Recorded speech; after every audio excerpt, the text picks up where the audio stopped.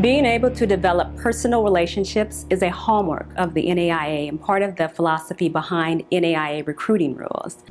NAIA recruiting rules don't restrict when or how often you and college coaches can communicate.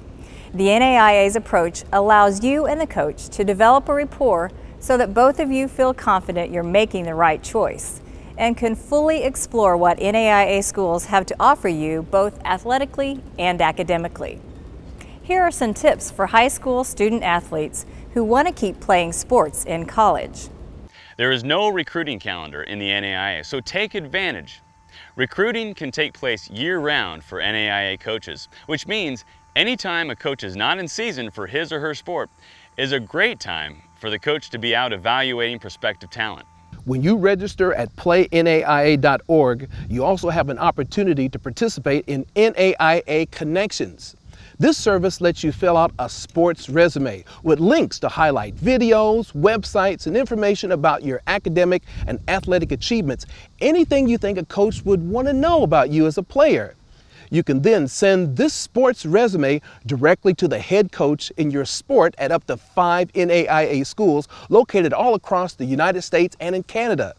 If you don't know where you want to play yet, NAIA Connections is a great way to start exploring and a service that is unique to the NAIA. Remember, there are no restrictions for NAIA coaches contacting high school students. So once they have your sports resume, coaches can reach out to you directly to get the conversation started. Reach out to coaches early in your high school career to start building a relationship. Start with NAIA schools in your area. Check out the NAIA.org website and search for schools that offer your sport and learn more about their postseason and national championship experiences.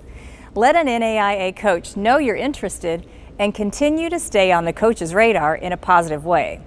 It's easy to stay in touch with NAIA coaches through any media you, your family, and the coach are most comfortable, whether that is Facebook, Twitter, texting, email, or phone. NAIA recruiting rules allow for personal relationships to be developed so that you can make a choice that is right for you.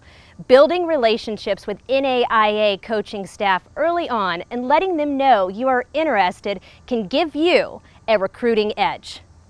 Keep up your GPA. No coach will recruit you if you can't step foot on the playing field. The minimum cumulative high school GPA to be eligible your freshman year in the NAIA is a 2.0 on a 4.0 scale. There aren't core courses to worry about in the NAIA, so this GPA is a combination of all your classes.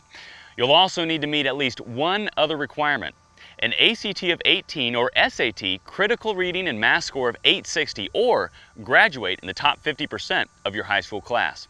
Some NAIA schools may have their own requirements that go beyond these, so it's important to check with the schools you are interested in to find out about their admissions requirements. Solid academics are just as important a piece of the puzzle as being recruited in the NAIA as athletics. For more information about recruiting eligibility and the NAIA, visit playnaia.org.